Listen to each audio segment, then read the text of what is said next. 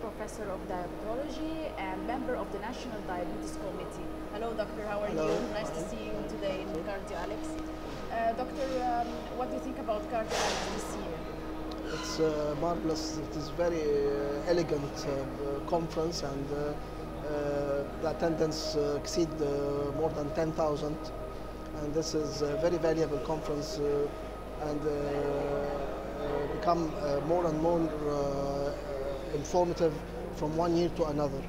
Yes. Um, doctor, we want to know um, uh, uh, what did you present uh, this year? Uh, my talk uh, today is uh, related to the uh, suitable and beneficial treatment of the diabetic patient uh, as regards the cardiovascular protection and the cardiovascular morbidity and mortality.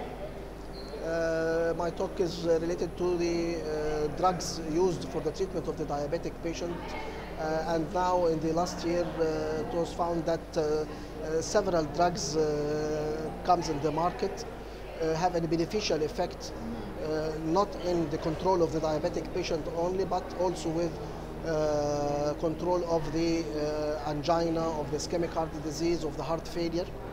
Uh, namely, these are two classes. One class is called the liraglutide uh, or the Victoza in the market by the name of the Victoza or the Trulicity. Uh, this uh, have a, a beneficial effect for the cardiovascular uh, patient and the ischemic patient, preventing the ischemic attacks.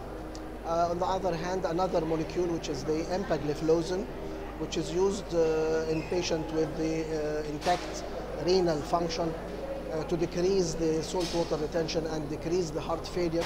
And now uh, we have several trials on this drug in non-diabetic patient with a patient with heart failure to prove its safety, number one, and its efficacy for the prevention and uh, treatment of heart failure. Thanks a lot, doctor. Thank nice you. to have you.